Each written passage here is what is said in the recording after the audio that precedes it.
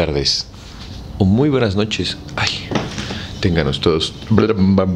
Tengan todos ustedes, queridos amigos, queridas amigas. Y por supuesto, para que no lloren, todos ustedes los que están en medio. Bienvenidos una vez más a este su programa favorito. El círculo de lectura. Y estamos aquí leyendo esta, híjole, filosófica pieza de la literatura, podríamos decir contemporánea, porque aunque se escribió hace muchísimos años, irónicamente, seguimos viviendo bajo sus reglas. Impresionante, sí, ya sé, güey. Pero, mira, el que no conoce su historia está condenado a repetirla. Así que sin más por el momento ni preámbulos estúpidos que no te importan, yo soy Barbitas. Te doy las gracias a ti por venir. Esto es La República de Platón y estamos en el libro sexto, o sea, la mitad más uno. Gracias por venir. Libro sexto. Por fin, después de no poco trabajo y de un cerco de palabras bastante largo, hemos establecido mi querido Glaucón, la diferencia que hay entre los auténticos filósofos y los que no lo son. Quizá no fuese fácil conseguirlo de otra manera. No lo creo. Hubiéramos llevado aún más lejos. Me parece la evidencia en este respecto, si solo hubiésemos tenido que tratar este punto, y si no hubiera que tocar otras muchas cuestiones para ver en qué difiere la condición del hombre justo de la del malvado. Y después de eso, ¿qué nos queda por considerar? Lo que inmediatamente sigue, puesto que los verdaderos filósofos son aquellos cuyo espíritu puede alcanzar conocimiento de lo que existe siempre por modo inmutable, y los otros, que incesantemente hierran en torno a mil objetos siempre cambiantes, son cualquier cosa menos filósofos. Es necesario que veamos a quién escogeremos para que gobierne nuestro Estado. ¿Cuál es el partido más prudente que debamos seguir? Instituir magistrados a aquellos que nos parezcan más propios para mantener las leyes y las instituciones en todo su vigor? Perfectamente. No es difícil decidir si un buen guardián debe ser ciego o clarividente. Sin duda que no. Ahora bien, ¿qué diferencia estableces entre los ciegos y aquellos que, privados del conocimiento de lo que existe de manera simple e inmutable, y sin tener en su alma alguna idea, y sin tener en su alma ninguna idea clara y distinta, no pueden a imitación de los pintores dirigir sus miradas al ejemplar eterno de la verdad y, después de haberlo contemplado con toda la atención posible, transponer de las cosas terrenas lo que en ellas han observado y servirse de ellos como regla para fijar por medio de leyes lo que es para lo que es honesto, justo, bueno en las acciones humanas y para conservar esas leyes después de haberlas establecido. Ninguna diferencia establezco entre estos y los ciegos, Escogeremos a esos, entonces, por guardianes, o más bien a los que conocen la esencia de cada cosa, y que, además, en nada ceden a los otros, ni en experiencia, ni en ninguna otra clase de mérito. Sería una locura escoger a otros, aunque, por otra parte, no fuesen en nada inferiores a los primeros, ya que llegan ventaja en lo, en lo más importante a nosotros incumbe ahora explicar por qué medios podrían unir la experiencia a la especulación. en efecto, preciso es, como al comienzo de esta conversación decíamos, empezar por conocer bien el carácter que les es propio. Convencido estoy de que después de que hayamos profundizado bien en él, no vacilaremos en reconocer que pueden reunir la experiencia y la especulación, y que deben ser preferidos a cualesquiera otros para el gobierno. ¿Cómo así? Convengamos, ante todo, en que la primera señal del espíritu filosófico consiste en amar apasionadamente la ciencia, que puede llevarle al conocimiento de la esencia inmutable, que ya dijimos, esencia inaccesible de las vicisitudes de la generación y de la corrupción. Convengo en ello. ¿Qué ocurre con él? Lo que con los amantes y ambiciosos respecto del objeto de su ambición y de su desamor, que ama todo lo que atañe en esa esencia, sin desdeñar ninguna de sus partes, grande o pequeña, más o menos imperfecta que sea. Tienes razón, pues examina tras esto, si no es forzoso, que los que hayan de ser tales como hemos dicho no tengan, además, este otro carácter. ¿Cuál? El horror a la mentira, a la cual cerrarán todo acceso a su alma, e igual amor a la veracidad. Así parece, no solo parece, mi querido amigo, sino que es absolutamente necesario que el que ama a, a alguno ame todo lo que le atañe, todo lo que guarda relación con él. Verdad es, pero ¿hay algo que esté más estrechamente unido a la ciencia de la verdad? No. ¿Es posible que un mismo hombre sea amante de la sabiduría y de la mentira? No. Por tanto, el espíritu verdaderamente ávido de ciencia debe, desde su primera juventud, amar y buscar toda verdad. De acuerdo. Mas ya sabes que cuando los deseos se lanzan violentamente hacia un objeto, tienen menos vivacidad para todo lo demás, como los débiles arroyos desviados de un torrente. Sin duda. Así, aquel cuyos deseos se orientan hacia las ciencias no tendrá gusto más que para los placeres puros que pertenecen al alma. En lo que se refiere a los placeres del cuerpo, los desdeña, si no es solo filósofo de nombre, sino en efecto filósofo. La cosa no puede ser de otra manera. Un hombre así es, pues, temperante y se halla por entero extento de la codicia, porque las razones que mueven a las demás a correr con tanto ardor en pos de las riquezas no tienen ningún poder sobre él. Así es como dices. Para distinguir al verdadero filósofo del que no lo es, conviene que pongamos atención todavía en otra cosa. ¿En qué? En que no hay en el alma nada que sea bajo, puesto que la pequeñez es absolutamente incompatible con un alma que debe abarcar en sus búsquedas todas las cosas divinas y humanas. Nada más cierto. Pero imaginas que un alma grande, que dirige sus pensamientos a todos tiempos, a todos los seres, considere la vida del hombre como una cosa importante. Imposible. Por consiguiente, un alma de ese temple no temerá la muerte. No. Así, un alma cobarde y baja no mantendrá nunca ni el menor comercio con la verdadera filosofía. Tal creo y un hombre moderado en sus deseos, extento de codicia, de bajeza, de arrogancia, de cobardía, puede ser injusto o de difícil trato? En algún modo, en modo alguno. Por tanto, cuando se trate de precisar cuál sea el alma nacida para la filosofía, tendrás cuidado de saber si desde sus primeros años muestra equidad y dulzura, o si es arisca e intratable.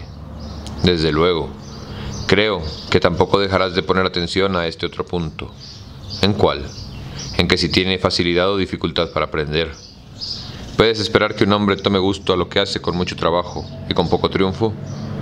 Errado iría si tal esperase. Pero si nada retiene de lo que aprende, si lo olvida todo, ¿es posible que adquiera alguna ciencia?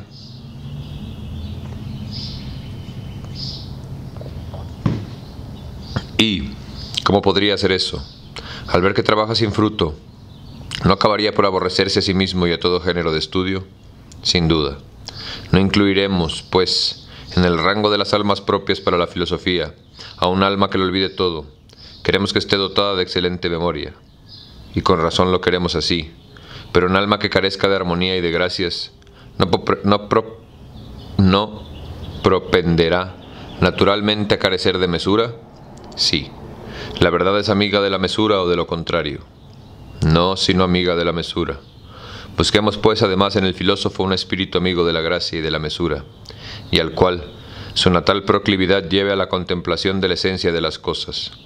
Indudablemente, las cualidades que acabamos de enumerar no guardan todas ellas relación entre sí, y no son todas ellas necesarias a un alma que debe elevarse al más perfecto conocimiento del ser. De todas ellas necesita, en efecto, puede en algún punto censurarse una profesión de que uno puede llegar a ser capaz por no estar dotado de memoria, de penetración, de grandeza de alma, de afabilidad, por no ser amigo y por así decirlo, aliado de la verdad, de la justicia, de la fuerza y de la templanza, ni el propio Momo hallaría nada que reprender en ello. A esas naturalezas perfeccionadas por la educación y por la experiencia, pues, y solo a ellas, confiarías el gobierno del Estado. Adimante, tomando aquí la palabra, me dijo, Sócrates, nadie puede negarte la verdad de lo que acabas de decir, pero aquí una cosa que, ordinario, que de ordinario ocurre a los que hablan contigo.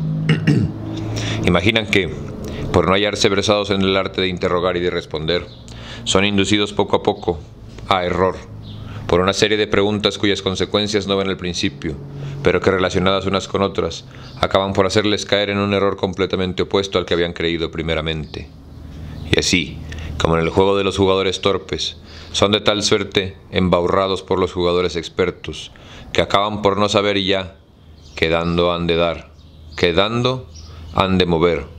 Así tu habilidad para mover a tu antojo, no los dados, sino los razonamientos, acaba por reducir a tus interlocutores a la imposibilidad de saber qué han de decir, sin que por ello haya más verdad en tus palabras.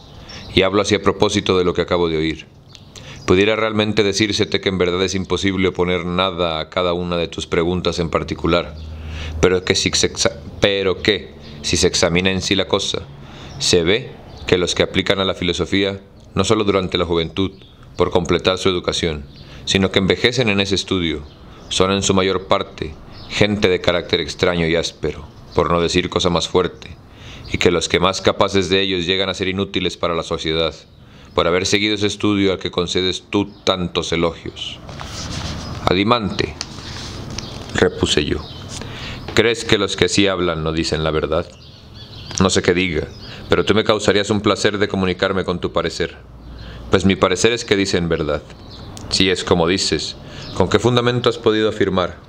Poco hace que no hay remedio para los males que asolan a los estados hasta tanto que sean gobernados por esos mismos filósofos cuya inutilidad para los estados reconoces? Pregunta es esa, a la cual solo puedo contestar una comparación.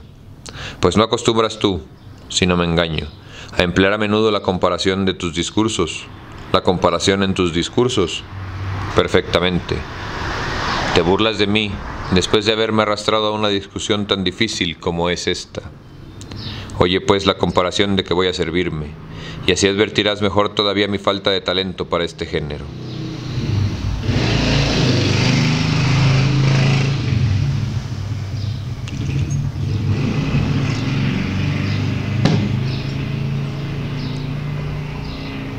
El trato que se concede a los sabios, en los estados en que viven, es tan extraño y particular que nadie ha experimentado jamás cosa que pueda aproximársele de suerte que me veo obligado a formar con diversas partes que en conjunto no guardan ninguna relación. El cuadro que debe servir para justificarle e imitar a los pintores cuando nos presentan animales mitad machos cabríos y mitad ciervos, u otras monstruosas figuras. Imagínate pues al patrón de uno de varios barcos, tal como voy a pintártelo, más grande y robusto que todo el resto de la tripulación, pero alto, gordo, corto de vista, y poco versado en el arte de la, navegación. Los marineros se disputan entre sí el gobernarle. Cada uno de ellos pretende ser piloto sin tener conocimiento alguno del arte del piloto, y sin poder decir con qué maestro ni en qué tiempo ha aprendido. Además, son suficientemente extravagantes para decir que no hay ciencia que pueda aprenderse, y todos ellos están dispuestos a descuartizar a quien quiera que ose decir lo contrario. Imagínatelos, tras esto, en torno al patrón, acosándole, conjurándole, hostigándole para que les confíe el timón. Los que se ven excluidos matan o arrojan al mar a los que han sido a ellos preferidos, embriagando luego al patrón, o adorneciéndole, haciéndole beber mandrágola, o librándose de él en cualquier otra forma. Apodérase entonces del barco, arrojanse sobre las provisiones, beben y comen con exceso, y conducen el barco como pueden conducirlo, semejantes gentes. Además, consideran como hombre experto, como hábil marino, a todo, a todo el que pueda ayudarles a conseguir por la violencia o mediante la persuasión la dirección del navío. Desdeñan como inútil a todo el que no sabe lisonjear en esto sus deseos. Por otra parte, ignoran qué cosa sea un piloto, y que para hacerlo hay que tener exacto el conocimiento de los tiempos, de las estaciones y del cielo, de los astros, de los vientos y de todo lo atoñadero, aquel arte. En cuanto a la ciencia de gobernar un barco con o sin oposición por parte de los tripulantes, creen que sea imposible unirle a la ciencia del timón. En los barcos en que tales cosas ocurren, ¿qué idea quieres que haya del verdadero piloto? Los marineros en disposición de espíritu, en los que supongo, no lo tratarían de hombre inútil, de charlatán vano, que pierde el tiempo en contemplar astros, verdad es. No creo que haga falta mostrarte que es este cuadro e imagen fiel del trato que se da a los verdaderos filósofos en los diversos estados. Más bien a mí, ¿sabes a qué me recordó mucho, güey? A nuestra política actual, ¿no? Piénsalo. Presenta pues esta comparación a quien se asombre de ver tratados de manera tan poco honrosa a los filósofos en los estados. Trata de hacerle ver aún, sería más de extrañar que fuesen cubiertos de honores. Sí, que le alegrare con tu comparación.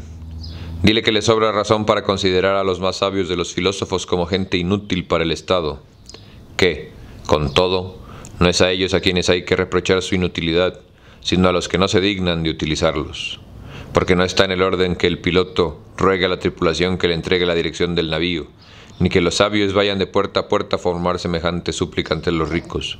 Quien tal se haya atrevido a decir, está muy equivocado, porque lo cierto es que el enfermo, sea rico, sea pobre, es a quien corresponde acudir al médico, al que necesita de ajenas luces para conducirse, dar los primeros pasos, y no a los que pueden ser de alguna utilidad para los demás, conjurarles a que se aprovechen de sus luces. Así, no errarás ni compararás a los marineros de que acabo de hablar con los políticos que se hallan hoy al frente de los negocios, y aquellos a quienes tratan de gente inútil, perdida en la contemplación de los astros. Los comparas a los verdaderos pilotos. Perfectamente. Síguese de aquí que es difícil que la mejor profesión sea bienquista de los que siguen un camino enteramente opuesto.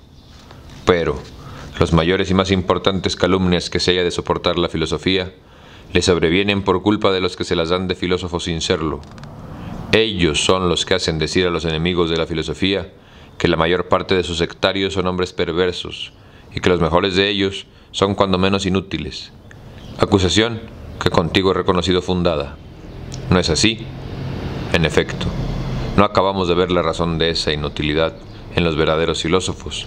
Sí, ¿Quieres que busquemos ahora cuál sea la causa inevitable de la perversidad de los filósofos supuestos y que nos esforcemos por mostrar, si ello es posible, que no es a la filosofía a quien hay que echar la culpa de esa perversidad? Consiento en ello. Empecemos por recordar lo que ha dado ocasión a esta digresión, es decir, cuáles son las cualidades necesarias para llegar a ser verdaderamente sabio. La primera es, si bien recuerdas, el amor a la verdad que debe buscar en todo y por todo, por ser absolutamente incompatible el espíritu mentiroso con la, verdad, con la verdadera filosofía. Eso es lo que dijiste. No es de parecer muy diferente al nuestro que este punto la mayor parte de los hombres. Ciertamente. No tendremos razón, a juicio tuyo, para responder que el que tiene verdaderos deseos de ciencia no se detiene en las cosas que solo son en apariencia, sino que, nacido para conocer lo que, lo que es realmente, propende con ardor y con esfuerzos que nada puede sujetar ni superar, hasta llegar a unirse a ello con la parte de su alma que más íntimamente se les acerca, y hasta que finalmente, cuando esta unión, este divino acoplamiento ha hecho nacer en él la inteligencia y la verdad, recibe de él ser vista clara y distinta, dejando de ser su alma presa de los dolores del parto, no cabe responder mejor. ¿Podrá amar la mentira un hombre así? No tendrá, por el contrario, infinito horror hacia ella. La detestará evidentemente. Tampoco diremos que la verdad pueda llevar en pos de sí el cortejo de los vicios. Sin duda que no. Sino que se dé siempre con costumbres puras y ordenadas, y que la templanza es su compañera. Sí, es necesario que por segunda vez procedamos en la enumeración de las cualidades inseparables del natural filosófico. Como recordarás, Glaucón y yo quedamos de acuerdo en que la fuerza, la grandeza del alma, la facilidad para aprender y la memoria le eran esenciales. Y entonces nos interrumpiste tú para decir que en verdad era imposible no rendirse a nuestras razones, pero que si dejando a un lado los razonamientos, echásemos una mirada a la conducta de los filósofos, no podríamos menos de reconocer que uno de ellos, reconocer que de ellos unos son inútiles y que los demás, en número mucho mayor, son enteramente perversos. Después de habernos puesto a buscar la causa de esta acusación, hemos venido a examinar por qué los más de los que se dicen filósofos son perversos, y esto es lo que nos ha obligado a trazar de nuevo el carácter del filósofo. Es cierto. Debemos examinar ahora cómo se corrompe y pervierte tan hermoso natural, de tal suerte que muy pocos escapan a la natural corrupción, y no son los que se ven tratados, no de malvados, sino de inútiles, Consideraremos, luego, cuál sea el carácter de estos falsos filósofos que, usurpando una profesión de que son indignos y que se halla fuera de su alcance, dan en mil errores y ocasionan el universal desacrédito en que se encuentra, según tú, la filosofía. ¿Cuáles son, pues, las causas de corrupción para el verdadero filósofo? Voy a desarrollarlos ante ti. Soy capaz de ello. En primer lugar, todo el mundo convendrá conmigo en que raramente se darán en la tierra estos afortunados naturales que reúnen en sí todas las cualidades que exigimos a un cumplido filósofo. ¿Qué piensas tú de ello? Creo que se dan en pequeñísimo número, pues mira cuántas poderosas causas laboran en la perdición de este reducido número. ¿Cuáles son? Lo que ha de parecerte más extraño es que las mismas cualidades que hacen tan preciosos a esos naturales corrompan a veces el alma que las posee y las arranquen de la filosofía, quiero decir la fuerza, la templanza y las demás cualidades de que hemos hecho mención. Muy extraño es, en efecto, aparte de esto, todo lo que entre los hombres se consideran como bienes, la belleza, las riquezas, la fuerza corporal, las grandes alianzas y todas las restantes ventajas de la misma naturaleza, no contribuyen menos a pervertir el alma y a hastiarla del estudio de la sabiduría. Debes de comprender de qué quiero hablarte. Sí, pero quisiera que me explicases todo eso más por largo. Aprende bien este principio general, y todo lo que acabo de decirte, lejos de parecerte extraño, será para ti evidente de toda evidencia. ¿Qué principio es este? Todo el mundo sabe que toda planta, todo animal que nace en, la en clima poco favorable, que no tiene, por otra parte, la nutrición y la temperatura que necesita, se corrompe tanto más cuanto más robusta es su naturaleza, porque el, más, porque el mal es más contrario a lo que es bueno que no a lo que no es ni bueno ni malo. ¿What? A ver otra vez. Todo el mundo sabe que toda planta, todo animal que nace en clima poco favorable, que no tiene, por otra parte, la nutrición ni la temperatura que necesita, se corrompe tanto más cuanto más robusta es su naturaleza, porque el mal es más contrario a lo que es bueno que no a lo que no es ni bueno ni malo. Cierto es eso. Por consiguiente, es verdad que un mal régimen perjudica más aquello que es excelente por su naturaleza que a lo que no es más que mediocre. Sí, podemos asimismo asegurar, mi querido Dimante, que las almas mejor nacidas se tuercan en las peores con una mala educación. ¿Crees en efecto que los grandes crímenes y la perversidad consumada partan de un alma ordinaria y no más bien de una naturaleza fuerte echada a perder por la mala educación? Respecto a las almas vulgares, puede decirse que jamás habrán mucho bien ni mucho mal. Convengo en ello. Por consiguiente, una de dos, si el natural filosófico es cultivado por las ciencias que son propias de él, fuerza es que gradualmente llegue a alcanzar la virtud más grande. Si, por el contrario, cae, crece y se desarrolla en suelo extranjero, no habrá vicio que algún día no produzca, a menos de que algún Dios vele de manera especial por su conservación. Piensas como los más se figuran, que los que pierden la juventud sean unos cuantos sofistas. El mayor mal no proviene de ellos. Quienes lo atribuyen a los sofistas son sofistas mucho más peligrosos, que, con sus máximas, saben formar y modelar a su árbitro, el espíritu de, de los hombres y de las mujeres, de los jóvenes y de los viejos. ¿En qué ocasión? Cuando en las asambleas públicas, en el foro, en el teatro o en el campo, o en cualquier otro lugar en que la multitud se congrega, censuran o aprueban determinadas palabras y acciones con gran estrépito, con grandes clamores y aplausos redoblados por las bóvedas y por los ecos del lugar.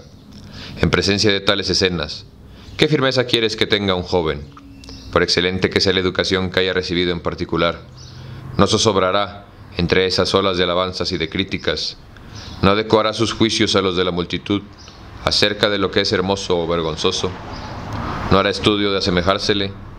¿Cómo va a proceder de alguna otra manera, mi querido Sócrates? ¿Cómo, mi querido Sócrates?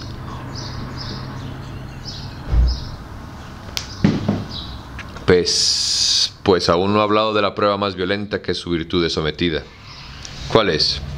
Cuando esos hábiles maestros y grandes sofistas, al no poder nada, con razonamientos, añaden a ellos actos y palabras, ¿No sabes que castigan con la pérdida de la hacienda, de la reputación, e incluso de la vida a los que se niegan a rendirse a, su ración, a sus razones?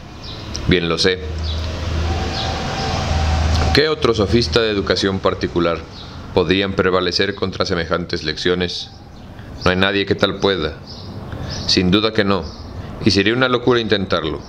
No hay ni ha habido jamás, ni habrá nunca un alma verdaderamente virtuosa cuando su educación sea contrapesada por las lecciones de semejantes maestros. Esto debe entenderse humanamente hablando, y dejando aparte toda inmediata protección de los dioses. Porque sí, en un estado gobernado según esas máximas, si haya alguien que escape al común naufragio, y sea lo que quiera lo que debe ser, puede asegurarse, sin temor a equivocarse, que debe su salvación a los dioses. Soy de tu opinión. También puede serlo. Entonces, en la que sigue. ¿De qué se trata? Todos esos simples particulares, esos doctores, mercenarios que el pueblo llama sofistas y cuyas, lecciones cree opuestas a, los que, a lo que él mismo enseña, no hacen otra cosa que repetir a la juventud de los máximas que en sus asambleas profesa el propio pueblo, y esto es lo que denominan ellos enseñar la sabiduría. Dijérase un hombre que después de haber observado los movimientos instintivos y los apetitos de un animal grande y robusto, por donde puede acercarse a él y tocarle, cuándo y por qué es bravo y manso, qué gritos lanza en cada ocasión, y qué tono de voz le aquieta o le irrita. Después de haber aprendido todo esto con el tiempo y la experiencia, formarse con ello una ciencia que se lance a enseñar, sin tener por lo demás ninguna regla fija por donde discernir a estas costumbres y apetitos lo que es honesto, bueno, justo, de lo que es vergonzoso, malo, injusto, ateniéndose en sus juicios al instinto de animal, calificando de bien todo aquello que le halaga y le produce placer, mal a todo lo que le enfurece, justo y bello a todo lo que le satisface las necesidades de la naturaleza, sin establecer ninguna otra distinción, porque no sabe qué distinción especial hay entre lo que es bueno en sí y lo que no es bueno relativamente, distinción que no ha conocido nunca y que no se haya capacitado para dar a conocer a los demás. ¿No te parecería sobremanera extraño, ciertamente un maestro así? En efecto, no es esa, rango por rasgo, la imagen de los que hacen constituir la sabiduría en saber lo que desea, la multitud reunida, la que halaga, sea en pintura, sea en música, sea en política. No es evidente que si alguien presenta ante esas asambleas alguna obra de poesía y de arte, o algún proyecto de utilidad pública, constituye para él una verdadera necesidad, la de, conformarse a lo que el público apruebe. Ahora bien, ¿Has oído jamás a uno solo de los que este público componen que otra que prueba de otra manera que con lamentables y ridículas razones que lo que tiene por bueno y honesto lo sea de veras? A ninguno he oído tal cosa, ni creo que lo oiga jamás. Pues añade todas esas reflexiones, estas y otras. Es posible que la multitud oiga de buen grado y mire cómo verdaderos principios como estos, que lo bello es uno y distinto de la multitud de cosas hermosas que hieren los sentidos, que toda esencia es simple e indivisible, no es posible. Por tanto, ¿es posible que el pueblo sea filósofo? Sí. Por ende necesario es de toda necesidad que desdeñe a aquellos que se entreguen a la filosofía, indudablemente, y que los sofistas privados que se entreguen al pueblo y se dediquen a lisonjearle en todo, los desdeñan a imitación suya, evidentemente. Como que de repente su diálogo me, no sé, güey, me confunde, güey. Así, a veces. Otras veces como que se me clava en la cabeza y otras veces me hacen putar. No sé qué decirte, güey. Viva la vida. Dime ahora que así lo ves a donde pueda cogerse el natural filosófico. Perseverar en la profesión que ha abrazado y llegar al punto de perfección que aspira. Juzga de ello por lo que acabamos de decir Hemos convenido en que el verdadero filósofo debe haber recibido de la naturaleza facilidad para aprender, la memoria, valor y grandeza del alma. Cierto, desde niño será el primero entre todos sus iguales, sobre todo si las perfecciones del cuerpo corresponden en él a las del alma. Sin duda, cuando haya llegado a la edad madura, sus parientes y conciudadanos se apresurarán a utilizar sus talentos y a confiarle sus intereses particulares y los del Estado. Sí, le, abrumarán con su respecto y con sus ruegos, previendo de lejos el crédito de que gozará algún día en su patria, y haciéndole ya la corte para granjearse de antemano su voluntad. Esto suele ocurrir. ¿Qué quieres que haga entre tantos aduladores, sobre todo si ha nacido en un estado poderoso, y si es rico, de elevado nacimiento, hermoso de rostro y de eminente talla? No se dejará llevar de las más locas esperanzas hasta imaginar que posee suficientes talentos para gobernar a griegos y bárbaros, lleno de tan locas ideas. No estará henchido de orgullo y de arrogancia. No perderá sobre él todo imperio la razón. Sí. Y fíjate que aquí me gustaría preguntarles a ustedes, güey, si podemos hacer un paréntesis cultural ligero.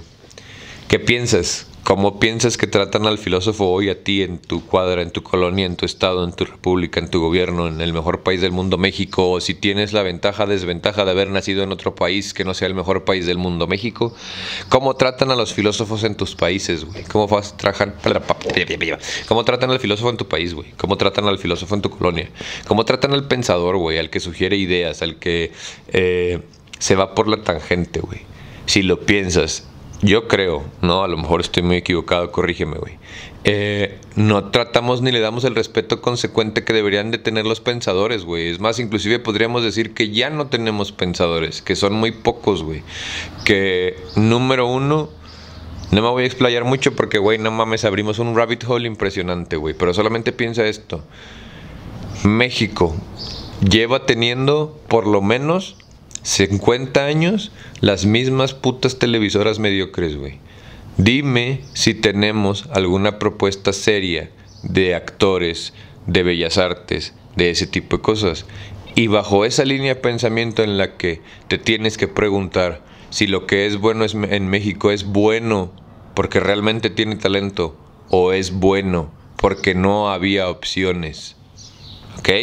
Solamente quiero que piensen eso, güey. Y número dos, ¿Qué pedo con los filósofos? O sea, ¿qué le pasa a los filósofos en esta época en la que vivimos? ¿Qué le pasa a los filósofos, a los pensadores, a la gente que obtiene ideas y líneas de pensamiento nuevas, güey? ¿Dónde están, güey? ¿Dónde están? Quiero saber tu opinión, güey. Están en los foros de internet, están en la calle, hay filósofos. ¿Conoces algún filósofo, güey? Eh, no sé, siento que es una profesión, un gremio que está muy abandonado y que es muy importante, güey. Porque al final, si no pensamos, pues a dónde vamos, cabrón. Pero bueno, ¿no? Me quiero poner muy platónico a discutir con ustedes o muy socrático acá a investigar, pero la neta sí siento que deberíamos de investigar o de proponer este tipo de discusiones, güey. O sea, ¿qué puedo con el filósofo? ¿Dónde están los filósofos, güey? ¿Dónde está la gente que piensa en pensar? Porque sí es importante. O sea, no solamente somos una pinche grupo de animales hacia el matadero. Aunque eso parece que es lo que quisieran. Ustedes. Dime ahora que así lo ves, donde pueda acogerse el natural filosófico, perseverar en la profesión que ha abrazado y llegar al punto de perfección a que aspira. Juzga de ello por lo que acabamos de decir. Hemos convenido en que el verdadero filósofo debe de haber recibido de la naturaleza facilidad para aprender la memoria, valor y grandeza del alma. Cierto, desde niño será el primero entre todos sus iguales, sobre todo si las perfecciones del cuerpo responden en él a las del alma. Sin duda, cuando haya llegado a la edad madura, sus parientes y conciudadanos se aprenderán, se apresurarán a utilizar sus talentos y a confiarle sus intereses particulares y los del Estado. Sí, la abrumarán con su respecto y con sus ruegos, previniendo de lejos el crédito de que gozará algún día en su patria, y haciéndole ya la corte para, para granjearse de antemano su voluntad. Esto suele ocurrir. ¿Qué quieres que haga entre tantos aduladores, sobre todo si ha nacido en un estado poderoso, si es rico, de elevado nacimiento, hermoso de rostro y de eminente talla? No se dejará llevar de las más locas esperanzas hasta imaginar que posee suficientes talentos para gobernar a griegos y a bárbaros lleno de tan locas ideas, no estará henchido de orgullo y de arrogancia. No perderá sobre todo el imperio la razón. Sí, si en tanto que se haya en esta disposición de espíritu, alguien, aproximándose suavemente a él, osase hacerle oír la verdad y decirle que está desasistido de razón, no obstante necesitar grandemente de ella para conducirse, porque la razón solo se adquiere a costa de grandes esfuerzos. ¿Crees que, obsesionado como está por estas ilusiones funestas, diese voluntariamente oídos a semejantes razonamientos? Nada de eso. Sin embargo, Si, debido a su feliz natural y a las relaciones existentes entre estos razonamientos y su alma, les diese oídos y se dejase convencer y llevar a la verdadera filosofía. ¿Qué piensas que harían entonces esos aduladores convencidos de que tal cambio habría de hacerles perder su gracia y todas las ventajas que de ella prometían? No pondrían por obra razonamientos, actos, todo en sus esfuerzos para disuadirle, al mismo tiempo que enderezarán sus esfuerzos contra el importuno consejero, para perderle, ya sea tendiéndole secretos lazos, ya llevándole a presencia de los jueces. No puede menos de ocurrir lo que dices. Y después de eso, ¿aún esperas que se dedique a la filosofía? No lo espero muy confiado, a decir verdad. Ya ves cómo tenía yo razón para decir que las cualidades que constituyen al filósofo, si son pervertidas por una mala educación, contribuyen en cierto modo a apretarle de su natural destino, tanto como la riqueza y las restantes supuestas ventajas de la misma índole. Sí, reconozco que tenías razón. Así es, mi querido amigo, cómo se corrompen y se echan a perder a esos felices naturales, también dispuestos para la mejor de las profesiones. Naturales que, por los demás, son rarísimos, como ya queda dicho. Estos hombres así pervertidos son los que causan los mayores males a los estados y a los particulares, los mismos que contrariamente les acarrean los mayores bienes cuando se vuelven del buen lado. Un natural mediocre no es capaz de nada grande, ni el bien ni el mal, ni como particular ni como hombre público. Nada más cierto. Esos mismos hombres, después de haber abandonado así la profesión para que habían nacido, y de haber dejado solitaria en el olvido la filosofía, llevan vida ajena a su naturaleza y al espíritu de la verdad. Esto, no obstante, la filosofía, así abandonada por sus propios hijos, los ve sustituidos por hijos supuestos que les deshonran y atraen sobre ella todos los reproches a que antes te referías, y de cuántos las cultivan. Unos no sirven para la maldita cosa, para maldita la cosa, y otros son unos miserables. Demasiado frecuentes son, a decir verdad, estos reproches, y no carecen de fundamento. Hombres de nada, viendo vacío el puesto y deslumbrados por los nombres distinguidos y por los títulos que el tal puesto decoran, dejan con gusto una profesión oscura que entre sus parvos talentos hubieran descollado acaso con cierto brillo, y se precipitan en brazos de la filosofía, semejantes a los criminales evadidos en su prisión que van a refugiarse a los templos, porque la filosofía, pese al estado de abandono que se ve reducida, conserva todavía sobre las restantes artes un ascendiente, una superioridad que hacen que sea buscada por los naturales que no estaban hechos para ella. Viles artesanos cuyo cuerpo ha deformado un trabajo servil, desgradándoles incluso, en ocasiones el alma. ¿Puede ser de otra manera? Al verles, no dirías que son semejantes a un esclavo enano y achaparrado, recién salido de la fragua y de los grillos que ha reunido algún dinero, y que, después de haberse reflejado en el baño y vestidos en un traje nuevo, va a desposar a la hija de su señor, a la cual la pobreza y el abandono en que se halla han reducido a tan cruel extremo? La comparación es justa. ¿Qué hijos nacerán de semejante matrimonio? Hijos, sin duda, contrahechos y bastardeados. Así debe de ser. Parejamente, ¿qué producciones saldrán del comercio de esas almas bajas e incultas con la filosofía? Pensamientos frívolos, sofismas, opiniones de provistas de verdad, de buen sentido y de solidez, ni más ni menos. Queda pues, mi querido Adimante, un escasísimo número de auténticos filósofos, espíritus elevados, perfeccionados por la educación, y que, acogidos a la soledad, deben su perseverancia en el estudio de la sabiduría, al cuidado que asimismo se impusieron en alejarse de los corruptores. O bien, grandes almas que, nacidas en un pequeño estado, se consagran a la, filosofía por el desdén en que ésta tiene, con razón, los cargos públicos y cualquier otra profesión. A otros, finalmente, contiene el mismo freno que a nuestro amigo. Teágriles. Todo lo que puede apartar a un hombre de la filosofía parece haberse conjurado contra él, mas sus continuas dolencias le impiden entremeterse en los negocios y le obligan a filosofar. Por mi parte, Apenas si me conviene hablar del demonio que me acompaña, y sin cesar me advierte y, y previene. Ahora bien, entre este reducido número de hombres, al que gusta y ha gustado en la dulzura y ventura que se encuentra en la sabiduría, viendo la locura del resto de los hombres y el desorden introducido en los estados por los que intervienen en su gobernación, no distinguiendo en torno a sí, por otra parte, a nadie que quiera sacudirle en los esfuerzos que, que haría para sacar a la justicia de la opresión, de suerte que nada tuviera que temer por sí, viéndose como en medio de la multitud de bestias feroces, cuyas injusticias no quiere compartir y a cuya rabia en vano intentaría oponerse, seguro de acabar por ser inútil a sí mismo y a los demás, y de pertenecer, perdón, y de perecer antes de haber podido prestar algún servicio a la patria y a sus amigos. Imbuido de estas reflexiones, permanece en reposo, ocupado únicamente en sus propios negocios y así, como el verdadero como el viajero asaltado por violenta tempestad, se considera afortunado si encuentra un muro al socaire del cual pueda ponerse a cubierto de la lluvia y de los vientos. Así, viendo que la injusticia reina impunemente en todas partes, estima como el colmo de la dicha poder conservar retirado y a su seguro corazón, limpio de inquietud y de crímenes, pasar sus días en inocencia y abandonar esta vida con, la conciencia tranquila y, perdón. Limpio de inquietud y de crímenes, pasar sus días en inocencia y abandonar en esta vida de la conciencia tranquila y henchida de las hermosas esperanzas. No es poca cosa abandonar este mundo después de haber vivido así. Convengo en ello, pero no habría cumplido lo más importante de su destino, por no haber hallado adecuada forma de gobierno. Con ella, el filósofo se hubiera desarrollado aún más y hubiese resultado útil al Estado y a los particulares.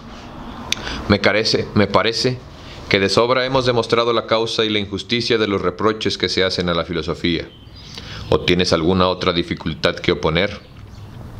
Nada más tengo que oponer a ese respecto. Pero dime, a todos los gobiernos actuales, ¿cuál es el que convendría al filósofo? Ninguno. Precisamente me quejo de que no exista ninguna forma de gobierno que convenga al filósofo. Así vemos cómo se altera y corrompe. Y, al igual que una semilla caída en tierra extraña degenera y adquiere la condición del suelo en que ha sido transportada. Así el natural filósofo pierde la virtud que le es propia y cambia de naturaleza, si por el contrario tropieza con un gobierno cuya perfección responda a la suya. Entonces se verá que realmente contiene en sí algo de divino y que todos los demás caracteres y las restantes profesiones solo participan de lo humano. Sin duda vas a preguntarme de qué forma de gobierno quiero hablar Nada de eso. Lo que quería saber si piensas que en el Estado, cuyo plan hemos trazado, o si piensas en algún otro. En aquel, salvo en un punto que le falta todavía. Ya hemos dicho, en rigor, que había de dar con el medio de conservar a nuestro Estado el mismo espíritu que le había iluminado y dirigido al instituir las leyes. Eso dijimos, pero no hemos desarrollado suficientemente ese punto, por, tenor a las mismas por temor a las mismas objeciones que habéis formulado, y cuya solución es tan larga y difícil como mostrasteis. Tanto más cuanto que tanto más cuanto que lo que nos queda por decir no es nada fácil de explicar. ¿De qué se trata? De las medidas que debemos observar, de las medidas que debemos adoptar para conservar la filosofía en nuestro estado, porque las grandes empresas son aventuradas y como suele decirse, las cosas hermosas son difíciles. No desmayo, Desarrolla el punto que falta en tu sistema para que quede completo. No será por falta de buena voluntad, sino de poder, si no llego a dar cima a mi demostración. Te tomo por juez de la solicitud con que trato de satisfacerte. Repara todo en el valor, o más bien en la audacia con que empiezo por decir que para ello es necesario seguir una conducta totalmente contraria a la que se sigue hoy respecto a la filosofía. ¿Cómo así? Aplícanse demasiado pronto a ella los niños. Por si esto fuera poco, todavía se reparte su tiempo entre ese estudio y el de la economía y el comercio. Los más, hábiles, renuncian a tal estudio cuando están próximos a entrar en lo que presenta de más difícil, quiero decir, en la dialéctica. Más adelante creen hacer mucho con asistir a conversaciones filosóficas cuando son instados a ello. Lo toman menos como ocupación que como pasatiempo cuando llegan a viejos, con excepción de un pequeño número. Su ardor por esta ciencia se distingue mucho más que el sol de Heráclito, puesto que no vuelve a encenderse. ¿Y qué es lo que hay que hacer entonces? Todo lo contrario, Es preciso que los niños y los jóvenes se apliquen a los estudios propios de su edad y que en esa época de la vida, en que el cuerpo crece y se fortifica, se tome especial cuidado de él, con el fin de que algún día pueda secundar mejor al espíritu en sus trabajos filosóficos. Con el tiempo, y a medida que el espíritu se forme y se madure, se completará el género de ejercicios a que haya de sometérsele. Finalmente, cuando las fuerzas gastadas ya no permitan ir a la guerra, ni ocuparse de los negocios del Estado, entonces el hombre quedará en libertad para dedicarse por entero a la filosofía y no hacer ninguna otra cosa como que no sea de pasada, con el fin de poder vivir aquí abajo vida feliz y obtener después de la muerte una suerte que responda a la felicidad de que haya gozado en la tierra. No cabe hablar con más ardor, Sócrates, que de este tema. Creo, sin embargo, que la mayor parte de los que te escuchan, empezando por Tarismaco, pondrán todavía más en resistirte y en no rendirse a tus razones. No te pongas a mal con Tarismaco, por favor. Hace poco que somos amigos y jamás hemos sido enemigos. Por lo demás, no habrá esfuerzo que no haga yo para convencerte y convencerle a él y a los restantes. Cuando menos lo que yo les diga les servirá en otra vida, al volver a empezar nueva carrera. Se encuentran en conversaciones análogas a estas. Sean buena hora. El plazo es bien corto. Di más bien que no es nada si se compara con la duración de los siglos. Después de todo, no tiene nada de extraño que tales razonamientos no hayan crédito en la mayor parte de los espíritus. Nadie ha visto aún la realización de lo que decimos. Lejos de esto, solo se oyen ordinariamente sobre estas materias discursos estudiados en que se atiende principalmente a que los miembros de cada frase se correspondan en justa proporción y no razonamientos naturales, y sin arte, como los nuestros. Pero sobre todo, lo que no se ha visto todavía es a un hombre formado, con arreglo al modelo de la virtud, tan exactamente como la flaqueza humana lo permite, y puesto al frente de un estado tan perfecto como él. A ti, ¿qué te parece esto? Que no lo creo, Tampoco ha asistido nadie a los diálogos de hombres verdaderamente libres y virtuosos en que se busque la verdad por todos los caminos posibles, con la sola mira de conocerla, en que se echa lejos todo aquello que huela a vanos argumentos, ornamentos y a falsa sutileza, en que no se hable por espíritu de contención, ni por mostrar elocuencia como se hace en el foro y en las conversaciones privadas.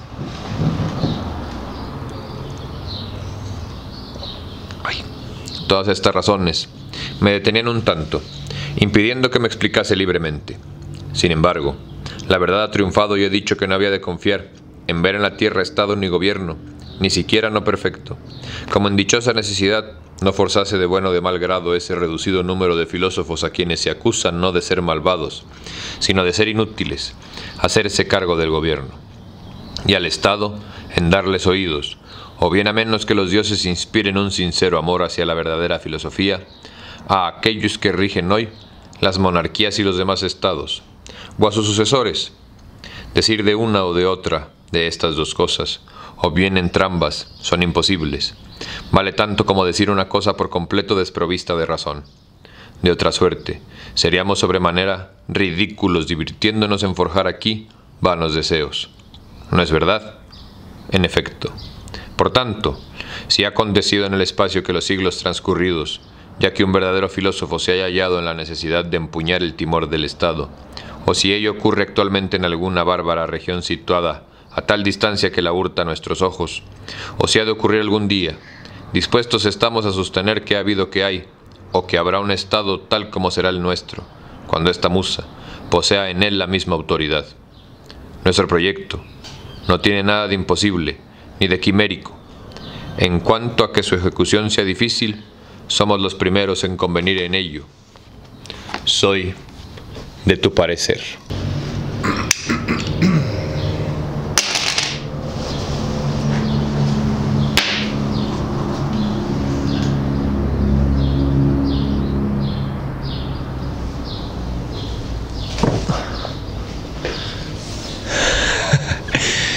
Valió Dick, mis ñeros y mis ñeras. Me rompí mi codo. Por eso no nos va a detener. Así que vamos a ver cómo funciona este pedo. Continuemos. Muchísimas gracias. A ti. por venir. Gato madre.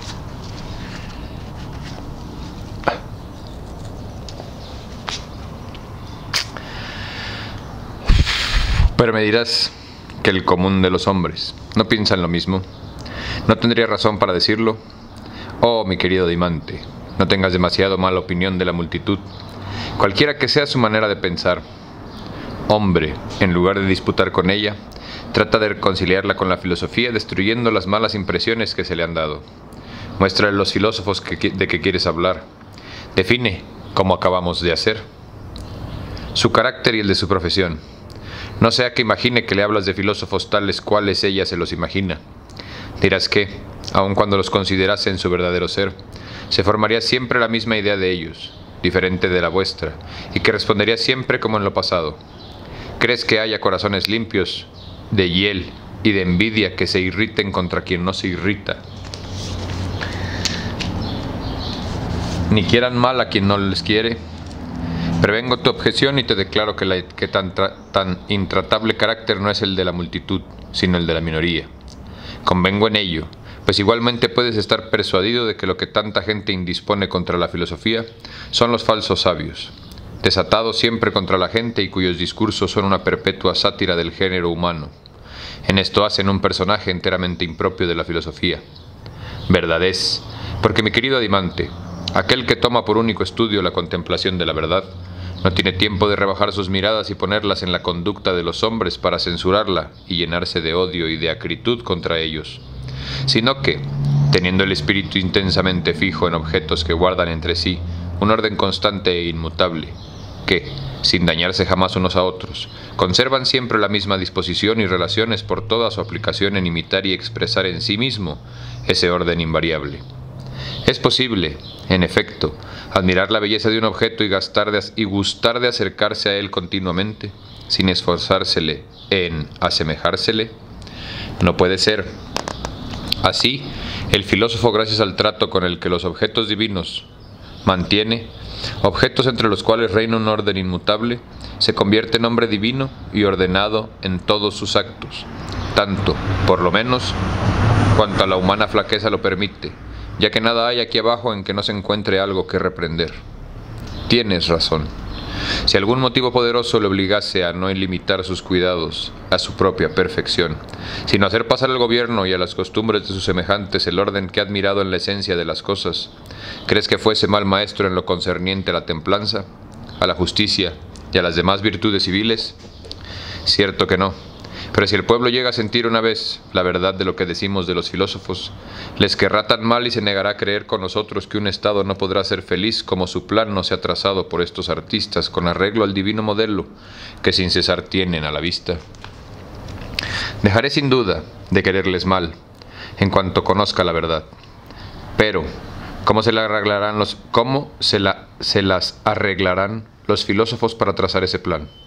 Considerarán el estado y el alma de cada ciudadano como una tela que hay que empezar por dejar limpia, cosa nada fácil, porque comprenderás que entre ellos y los legisladores ordinarios habrá la diferencia de que no querrán ocuparse de un Estado o de un individuo para trazarle leyes, como no lo hayan recibido puro y limpio, o si no ha llegado a estarlo gracias a sus cuidados.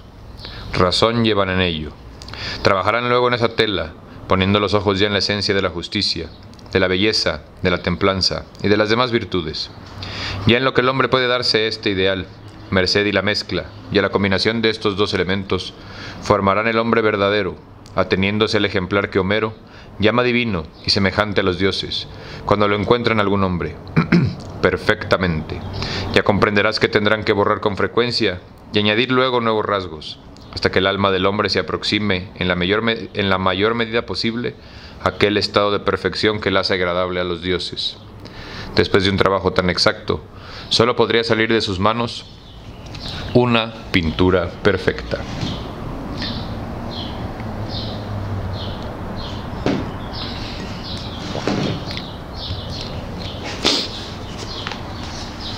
¿Qué piensas de ello ahora?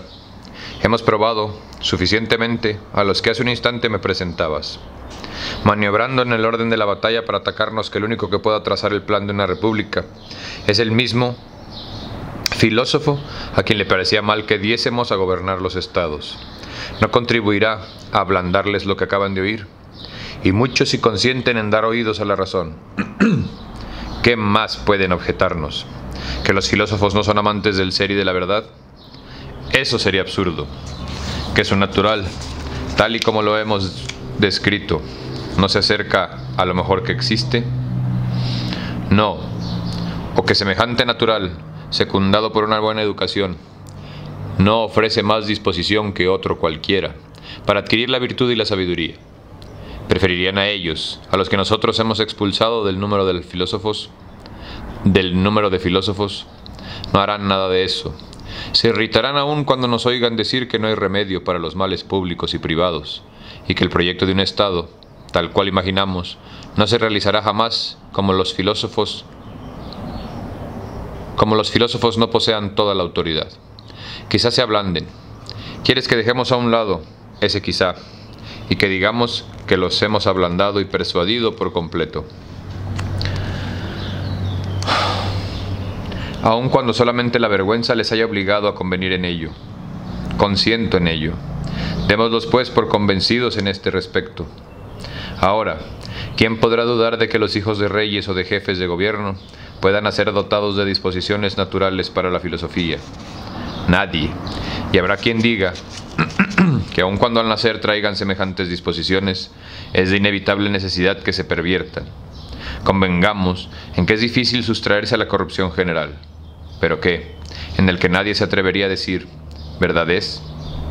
Ahora bien, basta con que se salve uno solo, y con que encuentre a sus súbditos dispuestos a obedecerle para ejecutar lo que hoy pasa por ser imposible. Basta con uno solo. Sí, ocurre que el jefe de un Estado haga las leyes y reglamentos de que hemos hablado. No es posible que sus súbditos consientan en someterse a ellos. No, desde luego. Pero es cosa extraña y que repugne el que a esto que ha Pero es cosa extraña y que repugne el que esto que ha acudido a nuestro pensamiento acuda algún otro día al pensamiento de cualquier otro? No lo creo. No hemos demostrado suficientemente, a mi ver, que nuestro sistema, una vez supuesta su posibilidad, es ventajosísimo. Sí. Concluyamos, pues, que si nuestro plan de legislación puede ser puesto por obra, es excelente, y que si su ejecución es difícil, cuando menos no es imposible. La conclusión es justa, puesto que tras no pocos esfuerzos hemos conseguido por fin lo que pretendíamos. Veamos qué es lo que sigue. Es decir, cómo con ayuda de qué, cómo, con ayuda de qué ciencias y de qué ejercicios formaremos hombres capaces de mantener en su integridad la constitución política, y a qué edad habrá que aplicarnos a ello. Veámoslo. En vano he querido usar antes de habilidad para evitarme tener que hablar del matrimonio de la procreación de los hijos y de la elección de magistrados sabiendo cuán delicada era esa materia y cuál sería la dificultad de la ejecución, porque ahora no me hallo menos obligado a hablar de ello. Verdad es que he tratado de lo que atañe a las mujeres y a los niños, pero hay que volver a empezar por completo en lo que se refiere a los magistrados. Dijimos, si bien recuerdas, que deberán mostrar gran celo por el bien público, y que era preciso probar ese celo con los placeres o con el dolor, de suerte que ni los trabajos, ni el temor, ni ninguna otra situación crítica les hiciese perder de vista tal máxima, que habría de rechazar al que hubiese sucumbido en estas pruebas, escoger para ser magistrado al que hubiera salido de ellas, tan puro como el oro que ha pasado por el fuego, y colmarle de distinciones y de honores durante su vida y después de su muerte.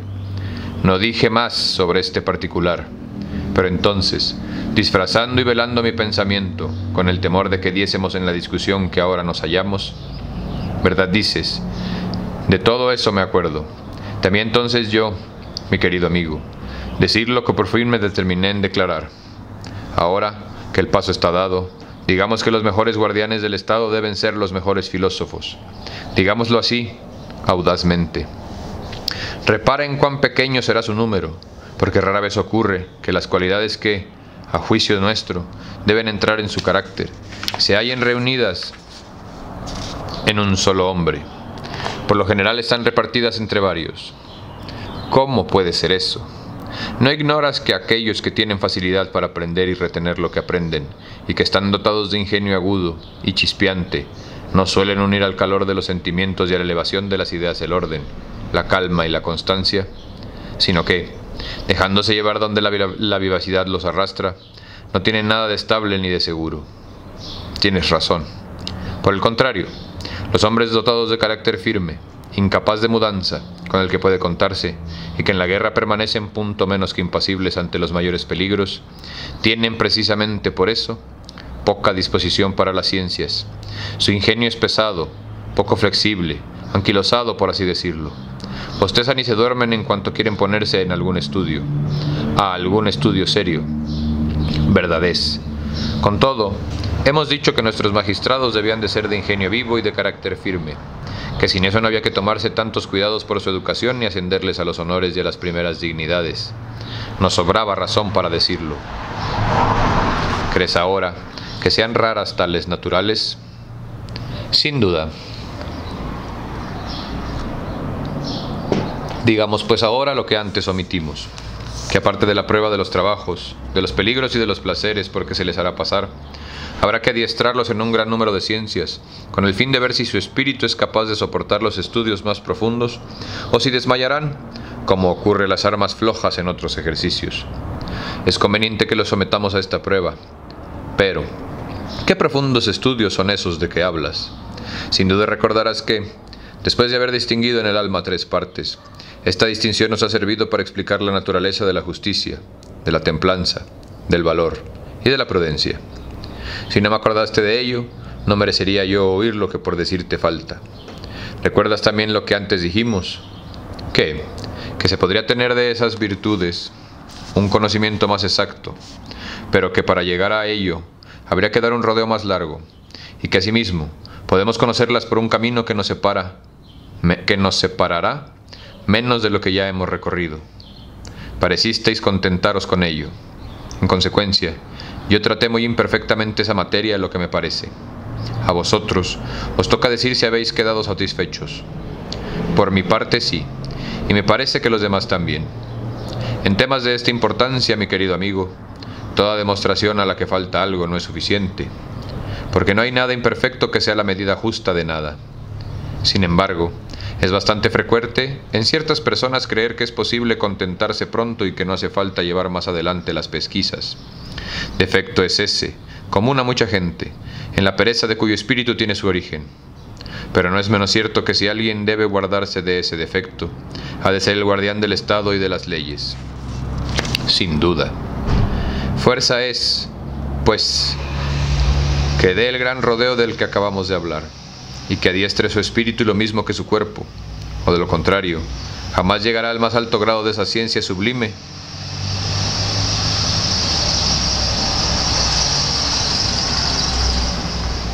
que más que a ningún otro le conviene. Pues que, ¿hay conocimiento más sublime que el de la justicia y de las demás virtudes de las que hemos hablado? Sin duda, y añado incluso que por lo que a esas virtudes se refiere, el esbozo de ellas hemos, que de ellas trazado no es suficiente y que debe querer un cuadro más acabado de ellas. No sería ridículo que pudiese por obra todo para tener no sería ridículo que pusiese por obra todo para tener conocimiento de cosas poco importantes y que no pusiera mayor cuidado en conocer las cosas de más importancia. Muy cuerda es esa reflexión. Pero crees que te van a dejar pasar adelante sin preguntarte cuál es esa ciencia superior a todas las demás y cuál es objeto. No creo tal. Pregúntamelo pues. Por otra parte, más de una vez me has preguntado, oído y ahora, o bien careces de memoria, o cosa que parece más verosímil, lo que buscas es únicamente obstruirme el paso con nuevas objeciones. A menudo me has oído decir que la idea del bien es el objeto de las, del conocimiento más sublime, que la justicia y las demás virtudes toman de esa idea su utilidad y todas sus ventajas.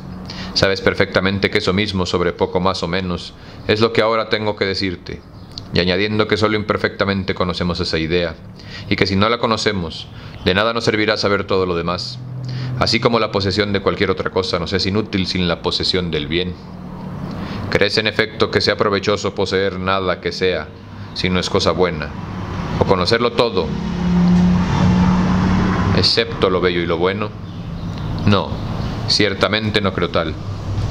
Tampoco ignoras que la mayoría de la gente hace consistir el bien y el placer, y otros, menos groseros, en la inteligencia. Ya lo sé. También sabes, mi querido amigo, que los que son de este último parecer se encuentran perplejos para explicar qué sea la inteligencia, que finalmente se ven reducidos a decir que, que es la inteligencia del bien. Sí, y ello es y ello es sobremanera chusco. Sin duda que es divertido que nos reproche nuestra ignorancia respecto del bien y que a seguida nos hablen de él como si lo conociésemos. Dicen que es la inteligencia del bien, como si tuviésemos que entenderlos desde el instante en que pronuncien la palabra bien. Muy cierto, pero es que hierran menos que los otros los que definen la idea del bien por la del placer. No se ven forzados a confesar que hay placeres malos. Sí, y por consiguiente confesar que las mismas cosas son buenas y malas. Sí. La verdad, me disculpo con ustedes por el escandalero de los vehículos, pero hoy me paré un poco más tarde. Bueno, no me paré, me acomodé un poco más tarde, güey. Me tardé como una hora acomodando todo el desmadre. Ahí es cuando te das cuenta de lo mucho que utilizamos las dos manos. Y sobre ese paréntesis cultural, güey, le quiero dar las gracias a todos los jóvenes que de verdad están haciendo algo al respecto. No hay acción mínima, güey, con esto todas tus acciones ayudan. Y despertar de la mentira en la que vivimos es lo más importante. Creo que la imagen que más me ha agradado que he visto es una que dice que este lugar es importante porque pensamos que está resistiendo la ocupación de los hijos de David. Pero en realidad, este es el único lugar que no está ocupado por los, por los hijos de David. Todos los demás están ocupados y cooptados por ellos. Por eso es tan importante esta protesta, güey. Si no sabes de qué estoy hablando, ponte las pilas, muñeco. Y ese fue su minuto de resistencia cultural con barbitas. Resulta pues evidente que esta materia está sujeta a un gran número de graves dificultades. Convengo en ello. Es menos evidente que, respecto que de lo bello y de lo honesto, Mucha gente se atendrá a las meras apariencias en, el, en sus palabras y en sus actos, pero que cuando se trata del bien, las apariencias no satisfacen a nadie, que busca algo que real, que sea real y que preocupa un poco a la... ¿Qué chingados? Es menos evidente que, respecto de lo bello y de lo honesto, mucha gente se atendrá a las meras apariencias, en sus palabras y en sus actos, pero que, cuando se trata del bien, las apariencias no satisfacen a nadie, que se busca algo que sea real y que preocupa de uno y que se preocupa uno poco de las apariencias. Cierto. Pues ese bien cuya función persigue todo el alma con vista, al cual hace todo, que solo por conjeturas conoce, siempre en incertidumbre y en impotencia, de definir justamente lo que es con la fe inquebrantable que tiene de respecto a las demás cosas, lo que la priva de las ventajas que pudiera obtener de ellas. Ese bien, tan grande y tan precioso, conviene que no lo conozca mejor que el común de los hombres en la, en la mejor parte del Estado, aquella a quien debemos confiarlo todo. Nada de eso. Pienso, en efecto, que no será seguro, guardián del Estado aquel que posea lo justo y lo honesto sin saber sus relaciones con el bien. Supuesto que puedan conocerse lo bello y lo justo sin, conocerse sin conocer previamente el bien, cosa que me atrevo a negar y con razón. Estará pues bien regido nuestro Estado, si tiene por jefe un hombre que una el conocimiento del bien al de lo bello y lo justo, así debe ser. Pero, ¿en qué haces con asistir tú, Sócrates, el bien en la ciencia, en el placer o en alguna otra cosa? Eres encantador. Hace rato que estoy viendo que no quieres atenerte a lo que sobre eso han dicho los demás.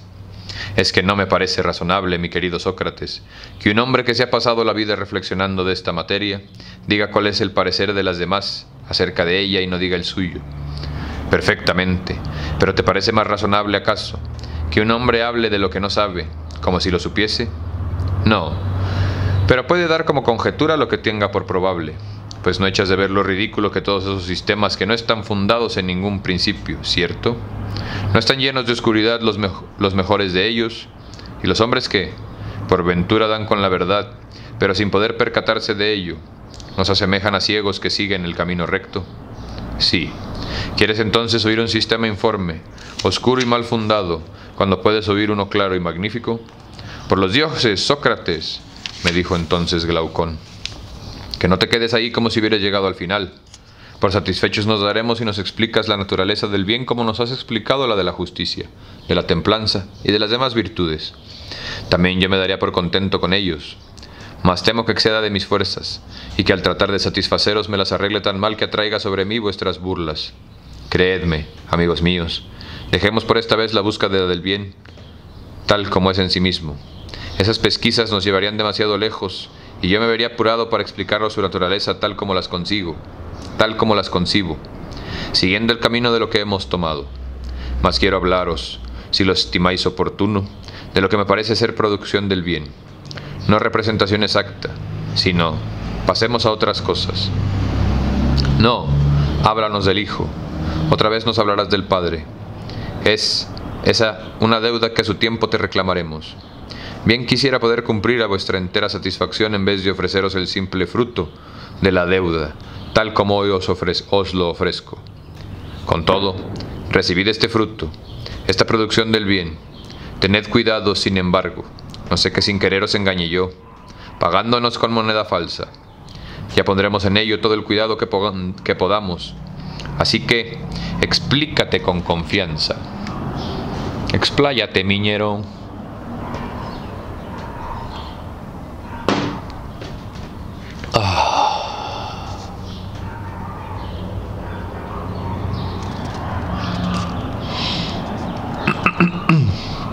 No lo haré sin haberos recordado antes lo que, lo que precedentemente. Ay, perdón. Y en otras muchas ocasiones dijimos. Hay muchas cosas que llamamos bellas y muchas que calificamos de buenas. Así designamos a cada una de ellas. Verdades.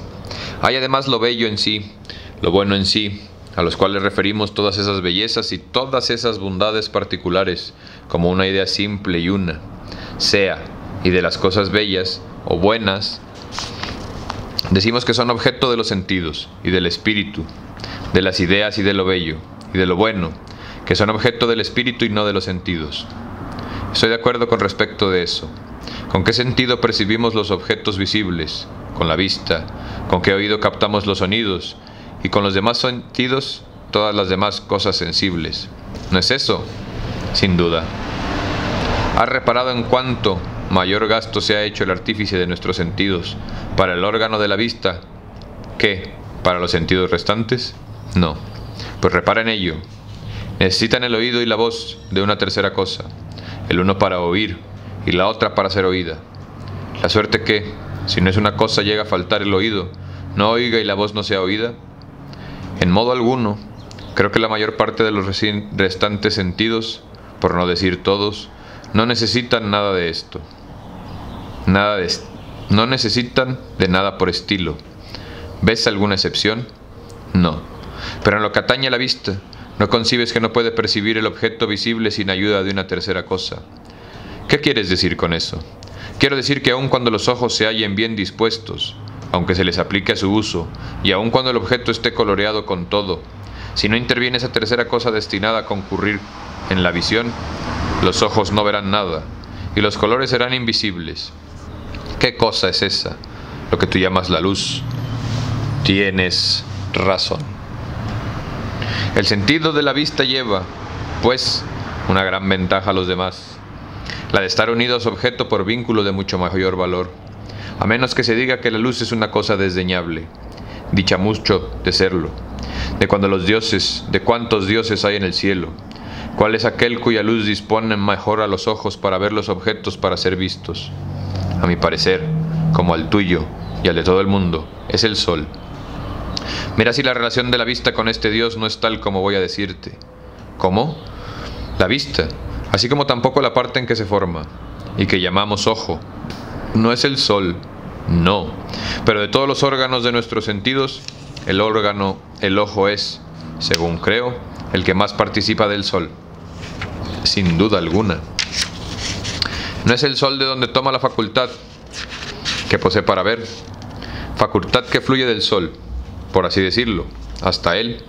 Y si el sol que no es la vista, pero que es su principio, es percibido por ella, en efecto, sabe, pues, que cuando hablo de producción del bien aludo al sol. El Hijo muestra perfecta analogía con el Padre. El uno es en la esfera visible, respecto de la vista y de sus objetos, lo que el otro en la esfera ideal, en respecto de la inteligencia y de los seres inteligibles. ¿Cómo es eso? Te ruego que me expliques tu pensamiento. Ya sabes que cuando volvemos los ojos a objetos que no están iluminados por el sol, sino por los astros nocturnos, cuesta trabajo distinguirlos. Está uno casi ciego y la vista no es clara. Así es. Pero que cuando miramos los objetos iluminados por el sol, entonces los vemos distintamente y a la vista. Está muy clara, sin duda. Entiende pues que lo mismo ocurre respecto del alma. Cuando ésta fija sus miradas en el objeto alumbrados por la verdad y por el ser, los ve claramente, los conoce y muestra estar dotada de inteligencia. Mas cuando vuelve su mirada a lo que está mezclado con tinieblas y a lo que nace y perece, túrbase su vista, se oscurece, y solo tiene opiniones que cambian a cada paso, en una palabra que parece por completo desprovista de inteligencia. Así es como dices. Ten pues por cierto que lo que esparce sobre los objetos de la ciencia es de la luz, de la luz de la verdad. Lo que confiere al alma la facultad de conocer es la idea del bien, y que esa misma idea es el principio de la ciencia y de la verdad, en cuanto éstas pertenecen al dominio de la inteligencia, por hermosas que sean la ciencia y la verdad. Puedes asegurar sin temor equivocarte que la idea del bien es distinta de ellas, y que las aventaja en belleza. Y así, como en el mundo visible hay razón para pensar que la luz y la vista tienen la analogía con el sol, pero sería falso decir que ellas, que sean, que, pues ser, pero sería falso decir de ellas que sean el sol. Así en el mundo inteligible puede considerarse a la ciencia y a la verdad como imágenes del bien, pero sería un error tomar a la una o a la otra por el bien mismo, cuya naturaleza es de un valor infinitamente mayor. Su belleza debe estar por encima de toda expresión, puesto que es la fuente de la ciencia y de la verdad, y aún más hermoso que ellas. Por consiguiente, no pensarás en decir que el bien sea el placer, Dios no lo permita, pero considera su imagen con más atención, y de esta manera, ¿cómo? Sin duda piensas que, como yo, que el sol no solo hace visibles las cosas visibles, sino que además le da nacimiento, crecimiento y nutrición sin ser él nada de eso. Sin duda. Asimismo puedes decir que los seres inteligibles no solo reciben del bien su inteligencia, no solo reciben del bien su inteligibilidad, sino además su ser y su esencia, aun cuando el propio bien no sea esencia, sino algo por muy, muy por encima de la esencia en dignidad y en poder.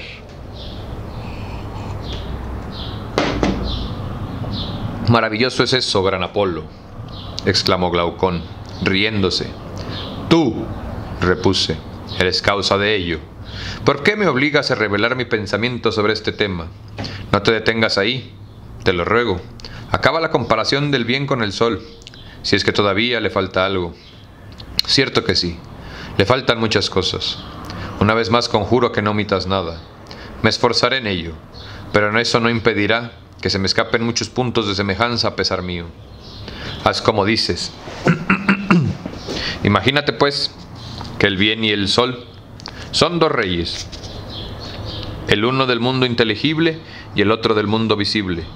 No digo del cielo por temor a que creas que quiero hacer un equipo, un equívoco. Cielo, paréntesis cultural, nada más que nada más tengo una mano. Cielo, en griego, o Uranos, lo visible oratón, de aquí las precauciones que Platón hace adoptar a su personaje contra el posible equívoco. Que quiero hacer un equívoco. He aquí, por consiguiente, dos especies, dos especies de seres, visibles los unos, los otros inteligibles, perfectamente. Sea, por ejemplo, una línea cortada en dos partes iguales, vuelve a cortar cada parte, es decir, el mundo visible y el mundo inteligible. Tendrás por un lado la parte clara y por el otro la parte oscura de cada uno de ellos. Una de las, una de las secciones de la especie visible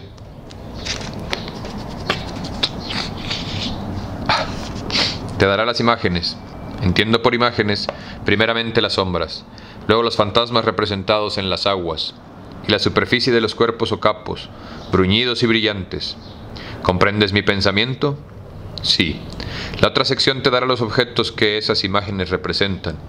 Quiero decir, los animales, las plantas y todas las obras de la naturaleza del arte.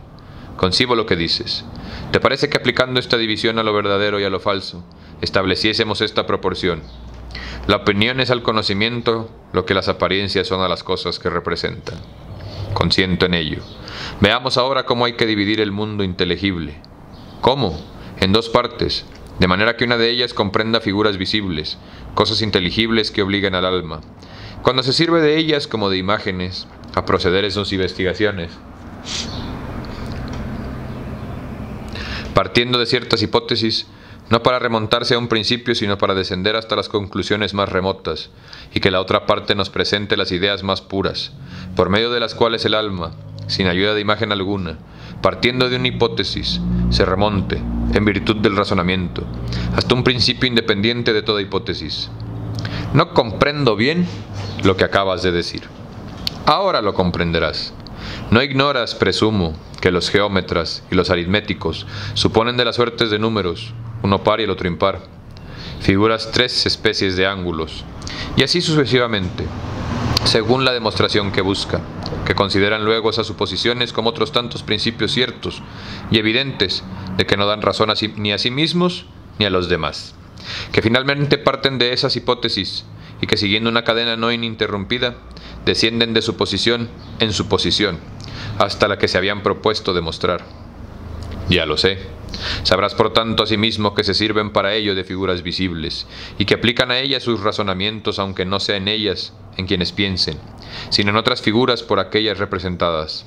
Por ejemplo, sus razonamientos no gravitan de sobre el cuadrado ni sobre la diagonal, tal como la trazan sino sobre el cuadrado, tal como en sí mismo con su es ¿qué? El cuadrado ni sobre la diagonal, tal como la trazan sino sobre el cuadrado tal como en sí mismo es con su diagonal. Otro tanto digo, de las demás figuras que representan, bien en relieve, bien por medio del dibujo y que se reproducen así, bien en su sombra, bien en las aguas. Los geómetras las emplean como otras tantas imágenes que les sirven para conocer las verdaderas figuras, que solo dices que solo por el pensamiento pueden ser conocidas. ¿Verdad dices? Ahí tienes la primera clase de cosas inteligibles el alma. Para llegar a conocerla se ve obligada a servirse de suposiciones, no para llegar hasta un primer principio, porque no puede remontarse más allá de las suposiciones que ha hecho, sino que empleando imágenes terrenas y sensibles que sólo por la opinión conoce, y suponiendo que son claras y evidentes, se ayuda de ellas para el conocimiento de las verdaderas figuras. Ya entiendo que el método del que hablas es el de la geometría y de las demás ciencias de la misma naturaleza. Concibe ahora lo que yo entiendo por la segunda clase de cosas inteligibles. Son aquellas que el alma capta inmediatamente por vía de razonamiento, haciendo algunas hipótesis que no considera como principios sino como simples suposiciones, y que le sirven de grados y de puntos de apoyo para elevarse hasta un primer principio independiente de toda hipótesis. Aduéñase de ese principio, y uniendo luego a todas las conclusiones que de él dependen, desciende de ahí hasta la última conclusión, sin recurrir a alguna cosa sensible, apoyándose sobre todo en ideas puras, por las cuales empieza, procede y termina su demostración. Algo entiendo, pero no suficientemente todavía. Esa materia me parece muy oscura. Antójaseme con todo que tu finalidad consiente en probar que el conocimiento que se adquiere de los seres puramente inteligibles por medio de la dialéctica es más claro que el que se adquiere por medio de las artes, a que ciertas hipótesis, a que ciertas hipótesis sirven de principios, Verdad es que esas artes están obligadas a servirse del razonamiento y no de los sentidos, mas como están fundadas en suposiciones y no se remontan hasta un principio, estimas que no poseen la clara inteligencia que tendrían si a un principio se remontasen, y denominas, según me parece, conocimiento razonado el que se adquiere por medio de la geometría y de las demás artes análogas, y lo sitúas, y lo sitúas entre la opinión y la pura inteligencia. Perfectamente has comprendido mi pensamiento. Aplica ahora esas cuatro clases de objetos sensibles e inteligibles a cuatro diferentes operaciones del alma, a saber, a la primera clase, la pura inteligencia, a la segunda, el conocimiento razonado, a la tercera, la fe, a la cuarta, la conjetura, y da cada una de estas maneras de conocer más o menos evidencia, según que sus objetos participen en mayor o menor grado de la verdad. Ya entiendo. Estoy de acuerdo contigo y adopto el, el orden que me propones. ¡Ay, cabrón! Y con esto, mi querido Glaucón, terminamos el libro sexto.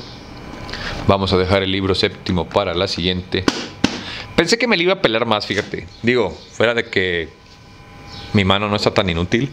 Pero, ¿qué piensas, güey? O sea, creo que mucho de la discusión de Platón raya en eso, en la discusión. Entonces creo que invitarlos a ustedes a la discusión es una de las cosas más inteligentes que podría yo hacer, porque al final sí me queda claro que una de las ventajas de este tipo de formatos que tenemos es eso, güey.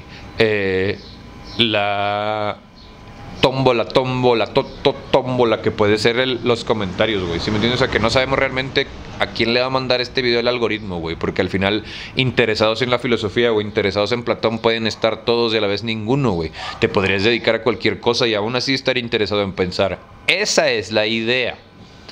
Entonces, pues te invito a que discutamos, güey. Te invito a que debatamos. Te invito a que me digas qué piensas en los comentarios. Y te doy las gracias a ti, como siempre, por venir a este tu ejercicio de resistencia cultural favorito. Yo soy Barbitos, como siempre, ya sabes, le puedes dejar un pulgar para arriba, un pulgar para abajo, un comentario, una mentada de madre, te puedes suscribir si quieres, inclusive te puedes inscribir como camarada colaborador, pero si no quieres, puedes seguir viniendo y este va a seguir siendo el mismo formato para siempre, por siempre y hasta siempre. Ah, perro, verso sin esfuerzos, así me salió del alma. Cámara, y nos vemos.